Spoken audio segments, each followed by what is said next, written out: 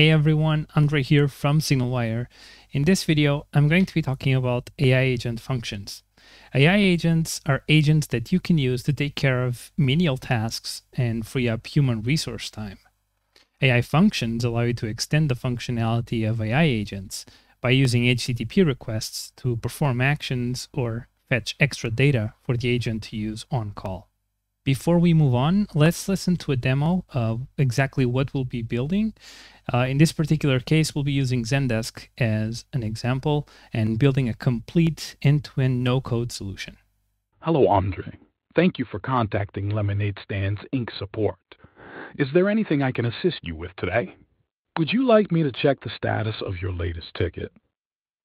Yes, that would be great.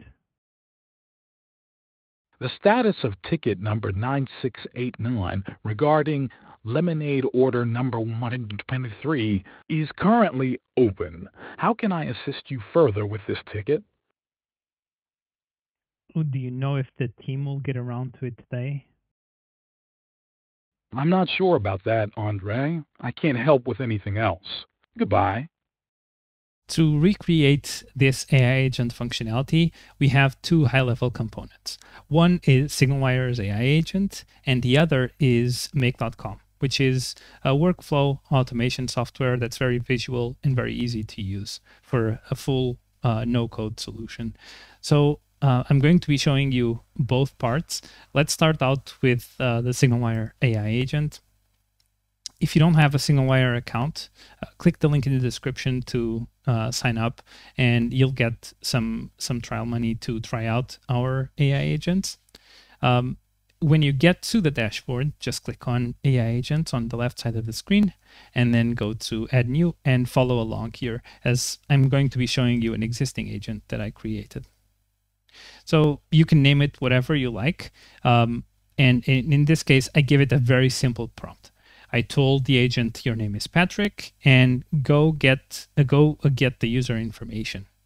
Um, this is it. I'm not telling it to uh, greet the user because I don't want it to even think about greeting the user before going to my uh, Zendesk instance and fetching that uh, the caller's information. Then we want the user to greet uh, the the caller. Uh, so let's let's keep going.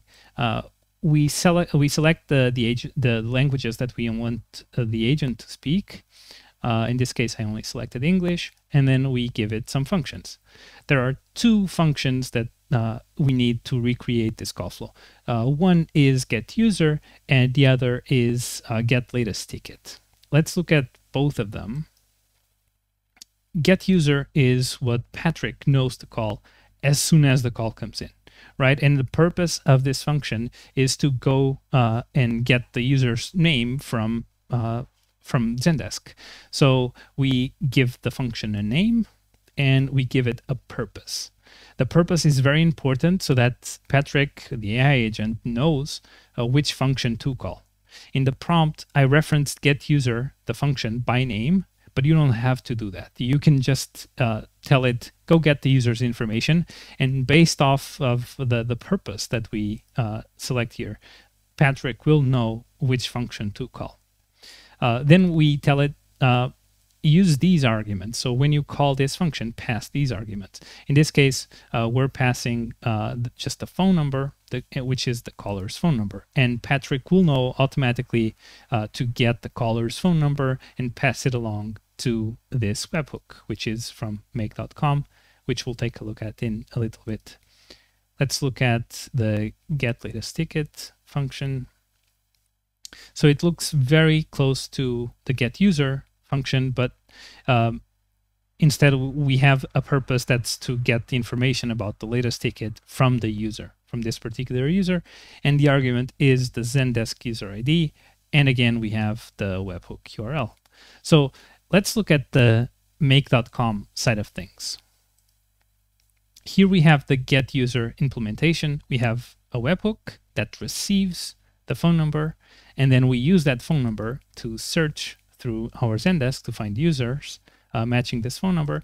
And depending on the amount of users that we find, we either tell, uh, we, we either return a response that says, we do not know the caller's name, and then essentially hang up the phone. Um, or we do know the caller's name, and if so, we give a response with the caller's name is blah, and their, their Zendesk user ID is blah.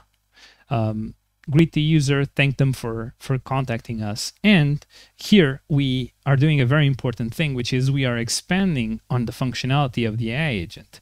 So when the AI agent starts a call, it knows nothing. It only knows to that its name is Patrick and that it needs to go get the user details. But when it does, and if there is a match um, in our Zendesk, then we provide extra instructions telling it to yes, now you should greet the user and you should ask the user if they'd like to they, they'd like you to check the status of their most recent ticket um, then let's have a look at uh, get latest ticket so just one thing that's uh, a very important detail here uh, when you start the call the agent does not know about the zendesk user id it does not know the person's name or the zendesk user id but when we return this uh, this data, the user now the, the agent now knows the user's name and Zendesk ID. So when the user then prompts the agent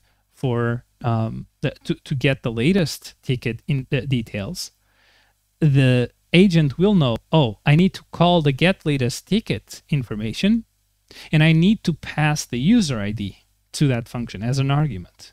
And it automatically will pick the Zendesk um, user ID, and that will arrive here in the webhook, and then we can use it when listing tickets. Uh, then depending on the amount of tickets that we find, we return a different response, just like before.